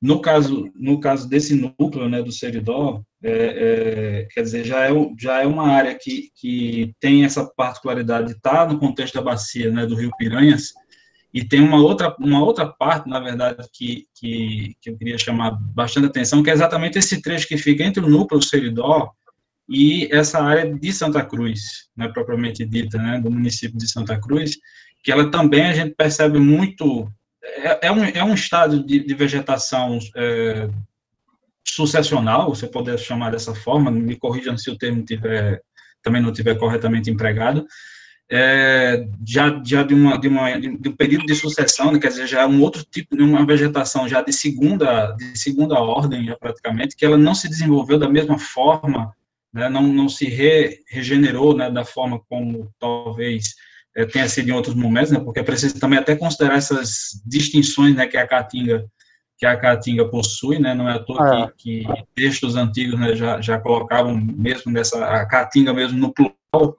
né? Um texto antigo que não me falha a memória, eu acho que é do Nilo Bernardes, alguma coisa que já falava né, das caatingas.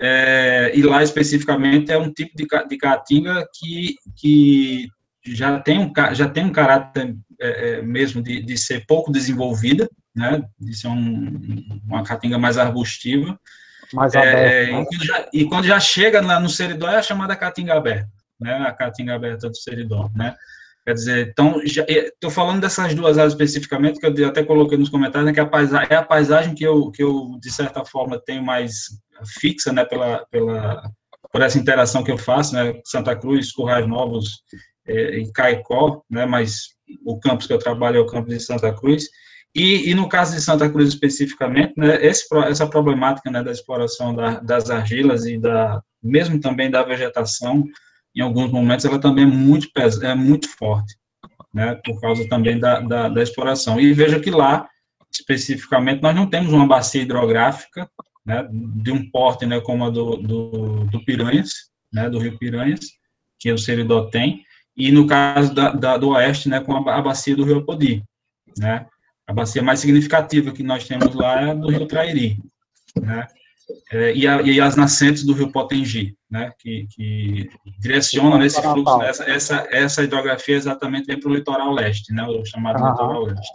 É só para fazer essa, essa observação, porque, assim, eu vejo que o Rio Grande do Norte também tem, essa, tem essas distinções, né, quando a gente considera é, a situação né, do semiárido, do Potiguar, o território do Rio Grande do Norte é quase todo né, inserido na, naquele perímetro né, que, o, que foi delimitado né, pelo, pelo Instituto Nacional do Semiárido. Exatamente. Só e a aí tem essas... que foge um pouquinho, né? Isso, exatamente. E assim, vai ver que o litoral de Touros, né, até, até Tibau, todo, todo ele inserido, né, nesse, nesse semiárido. É, e aí tem, nós temos essas distinções, né, que, que, que pega, né, você tem essa realidade que o senhor falou, né, em relação à região de Mossoró e do Vale do Açu, e mesmo quando pega, né, para para a parte mais amontante, né, da, da bacia, né, do rio, do rio Piranhas, já tem uma outra realidade, porque já entra no núcleo do Seridó, né, já entra nessa configuração, né, do, do núcleo de desertificação do Seridó. É só para fazer esse complemento. Sabe, sabe é, como, é, como é teu nome? Giovanni. Giovanni, sabe, um fator é, fundamental para essa distinção das caatingas, né, é, é a questão edáfica. Né? Se você pegar o Rio Grande do Norte, você pega ali a região litoral que você falou aí, de Touros até Tibau, um tabuleiro costeiro, né? Boa parte aí de cambisolos, então você já tem uma caatinga, é, por exemplo, Mossoró, você conhece Mossoró? A região conheço. aqui? Conheço, então, conheço a, a caatinga aqui é uma caatinga bem diferente do resto do Nordeste, né? É uma caatinga Isso. mais é arbustiva, não é, não é muito arbórea, tem algumas arbóreas, mas é mais arbustiva, mas é mais intensa, mais fechada. Então é Isso. é aquela caatinga é, que a vegetação praticamente cobre o solo, por essas condições edáficas. Quando você vai para a região do Seridó, aí você já passa, já sai dessa região sedimentar e já entra no cristalino.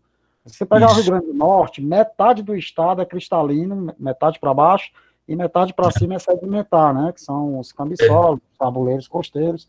E aí, no cristalino, que é onde você tem um solo mais raso, pedras, né? Enfim, pouca disponibilidade é, hídrica, a caatinga ela já é essa caatinga que você está falando, aberta, rala, né? Com muitas cactáceas. Então você, você não vê tantas cactáceas aqui na região de Mossoró. Né? Você vê uma aqui ou lá, mas se você vai para o Seridó, você já é muitas cactáceas, é, já são a predominância dessas plantas mais cãs, né? É Muitas vezes você vai encontrar. Vai encontrar... Chique-chique, mandacaru, aí você já vê isso com mais. É, você encontra um, um, um, aquele solo mais, dizer assim, em formação, que é aquele rególito, né? Que chamam né, de regolito, né? Que, que é justamente aquela vegetação que vai se desenvolver nas fissuras, né? Das, da, Exato, da, das região rochas. cristalina, de solos, rochas cristalinas, com muitas fendas que é onde a, a, a, as, as, vegetações se desenvolvem, e aí você tem essa caatinga mais, é, como é que eu posso dizer, romântica, né, mais característica, que é o chique-chique, a macambira, o mandacaru, uhum. o coroa de frade, muitas cactáceas, né, e plantas mais arbóreas também, um aqui, outro lá, e de vez em quando, é, é, perdão, herbáceas, e de vez em quando uma arbórea, né, um juazeiro e tal. E quando você vai para as regiões de altitudes, Serra de Santana, é, a, é, Porto Alegre, Martins, aí você já tem a caatinga de brejo de altitude. Aí já Isso. é uma caatinga mais intensa, arbórea, com plantas, árvores de grande porte. Você vai aqui em Porto Alegre, você nem pensa que está na caatinga, né? Em determinada época do ano, você acha que está numa floresta tropical. Então, assim, essas diversas facetas da caatinga, né? Que é muito em função das condições de clima, né? De, de vou nem dizer de clima, vou dizer de disponibilidade hídrica e principalmente edáfica. Né? Então, aqui no, no, no, Nordeste é bem, você consegue perceber claramente. E outra coisa que você falou interessante, que o, o RN é praticamente 100% do seu território inserido, inserido na, nas condições semiáridas, né, com a predominância da caatinga, e em alguns pontos a caatinga chega até o oceano. Então, você consegue, por exemplo, estar tá na beira da praia lá em Cristóvão, ou em, na Ponta do Mel, e tirar uma foto do lado de um cactácea, de um chique-chique, de uma macambeira, né? Um negócio. Você não vê isso em lugar nenhum do Brasil. Você vai no litoral do Ceará, já é, por exemplo, litoral de Fortaleza para o norte, né? É mais a presença daquela vegetação mais de, de, de, zona da mata, de como é que chama? Aquela região costeira, não é? Aqui na região leste de, de, do Rio Grande do Norte, que é a região de Natal também, você vai chegando em Natal, você nem pensa que está no Nordeste. Né? Você vê grandes pastos, áreas gado, gado de corte na região ali metropolitana de Natal. Enfim, então hum. a uhum. vegetação já muda, já não é mais semiado, já não é mais caatinga, já é um clima mais chuvoso, uma condição de vegetação mais, mais para cerrado do que para caatinga, digamos assim. Então é, é, muito por conta dessas condições, clima e solo. Né? É bem interessante essa observação que você fez. É, as facetas da caatinga, né? São vários tipos de caatingas, realmente. Não tem é, uma, tá. um modelo fixo. Exatamente, exatamente. Valeu. Parabéns mais uma vez, professor. Valeu. Bom, pessoal, estamos chegando a duas horas quase de, de evento e eu, eu, já tenho que me ausentar, que eu vou entrar em aula agora até, até às 10. Assistir a aula, na verdade. Ah, assistir, né? É. Então, pessoal, muito obrigado, muito obrigado, Luiz César, por ter aceitado, Valeu. foi excelente, aprendemos muito. A todos os presentes, muito obrigado. É, espero que vocês é, venham no próximo, na, na próxima terça-feira. E participem, pessoal. Vamos, vamos abrir o microfone e conversar. Tá? Boa noite a todos e até a semana que vem. Boa noite. Oi, oi Larissa. Para avisar que a próxima palestra permanece esse mesmo link e a questão dos certificados serão disponibilizados após a terceira palestra, com uma semana depois, certo? Para todo mundo. Vai Perfeito. ser um, um evento só. Outro, com um certificado só. Valeu, tá pessoal. Obrigado. Um abraço Valeu, aí para todos. Boa, Boa noite. noite. Tchau, tchau. Tchau.